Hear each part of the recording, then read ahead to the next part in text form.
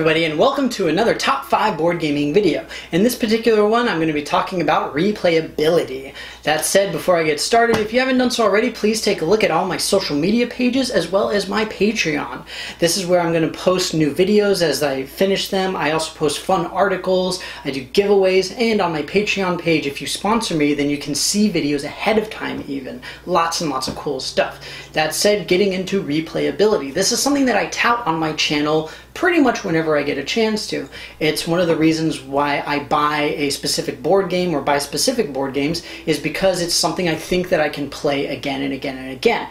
It's something that I want on the table that I want to see again and that that really just gives me longevity for um, a lot of these purchases. So what you're going to see from my particular list are a lot of games where there's a bunch of mix and matching going on. So you've got different starting conditions, you've got um, a lot of different things that change all throughout the game, a lot of different strategies, stuff along those lines. That said, I would love to hear what you guys have to say about this. What are the games that you find to be highly replayable, that you love going back to, that you never really seem to get bored of? Please let me know in the comments below. You guys know I love hearing from you. But that said, we're going to get started with my number five. At number five, I have Small World. In Small World, the idea is that you're going to have a race of beings of some sort, and they're going to have an ability, and you're going to try to spread them around the map as much as possible, and then you're just going to be like, oh, no, I'm done with you, and then you're going to get a new one. Essentially, the cool crux of the replayability on this game is the fact that every time you play, those combinations are constantly changing and constantly shifting. So you always have to change up your strategy of what you're going to do, where you're going to go, and how you're going to get there. That said, it is lower on the list because strategically there's a little bit less to offer than some of the other ones, but it's still a tremendous amount of fun. Small World, my number five. At number four, I've got Kingsburg. Kingsburg is a wonderful worker placement game where you're rolling dice that determine what your workers are able to do and all this kind of stuff. And worker placement games in general tend to be really replayable because you have a lot of different avenues to victory. There's always going to be different things that you need, different strategies that you have to adopt, all of those kinds of things. That's part of why Kingsburg is on this list because it does that in a really great way. And I'm generally not a big fan of worker placement games. That said, also, if you add in to Forge a Realm, the expansion for Kingsburg, it takes it up to 11 because it's a wonderful modular expansion that adds new buildings, new uh, starting powers, all sorts of other different things. So you've got a big mix of a bunch of different mechanics coming together that change how you play every single time. Kingsburg, my number four. And number three, I've got Lords of Waterdeep. That's right, it's another worker placement right after I said I don't really like them. That said, Lords of Waterdeep specifically is D&D based. I love D&D, so I recognize the characters, I recognize the places, and after I've played it a few times, I really do love this game.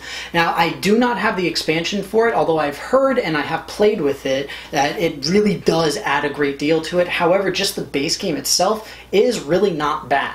Again, it's a worker placement, so you've got a lot of different strategies uh, that you can go with in terms of how you're going to uh, use your workers, what buildings you're going to try to get, all that kind of stuff. That said, it is more complex compared to Kingsburg, which is why it's a bit higher up on the list. Not to mention having the D&D theme makes me personally like it a little bit more. So, Lords of Waterdeep, my number three. At number two, I've got Evolution. This is a game that's relatively similar to Small World in the sense that you're going to have your different species, your different organisms that are going to be able to do different things and you're going to add to and take away and all that kind of stuff throughout. However, with the expansions, especially where you got flight and climate in this case, this is a beast of a game. It's huge. You can play a huge number of players. It's so much fun, and the science behind it is actually surprisingly good.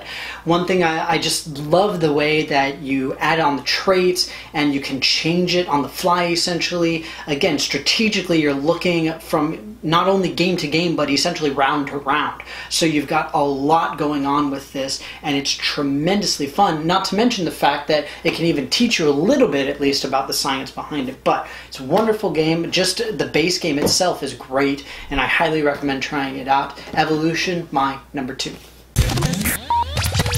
At number one, I've got Cosmic Encounter. That's right. Did you guys really think I'd talk about replayability without talking about my favorite game of all time? Of course you didn't. You knew it was going to be here. So Cosmic Encounter, similar to some of the other games in terms of your starting ability is different every time you play, or at least most times you play.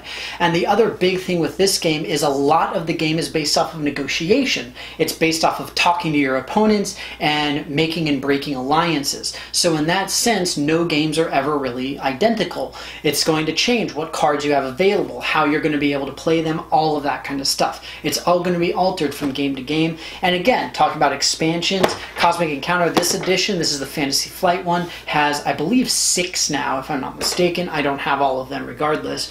But there's a lot of new alien powers, a ton of new mechanics, all sorts of great stuff. But honestly, you don't need the expansions. You really do not in order to enjoy the game. Just the base game by itself is wonderful and really easily and well replayable with even the same group over and over. Cosmic Encounter, my number one.